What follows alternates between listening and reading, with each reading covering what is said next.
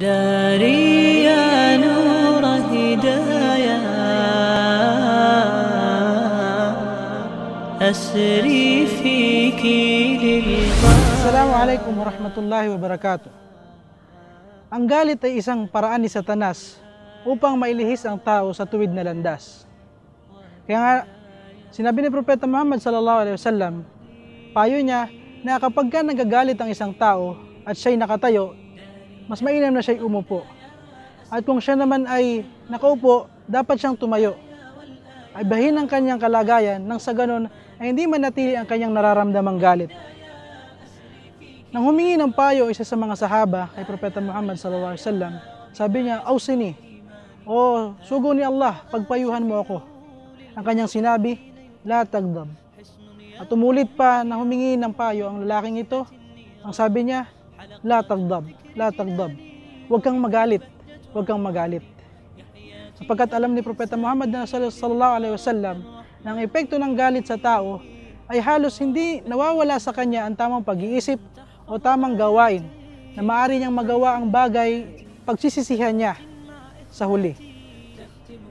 Sinabi ni Propeta Muhammad sallallahu alaihi wasallam sa isa ring humingi ng payo sa kanya, Qala rajul, dullani ala amalin yudkhiluni al-jannah.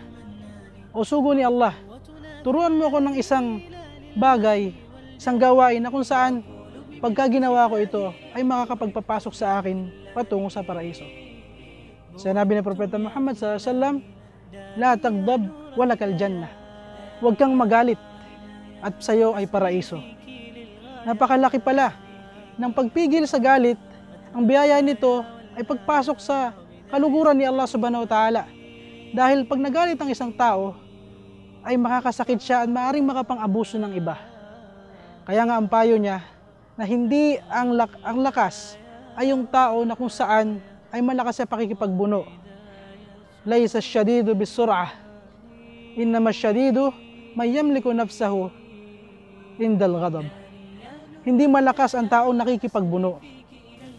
Ang tunay na lakas ay yaong tao na mapipigilan niya ang kanyang sarili na magalit.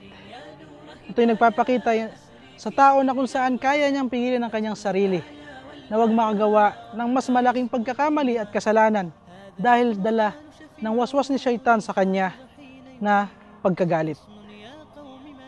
Assalamu alaikum warahmatullahi wabarakatuh. حلقات الذكر جناني وبها البهجة عنواني يحيا فيها الإنسان لرضا رب الرحمن.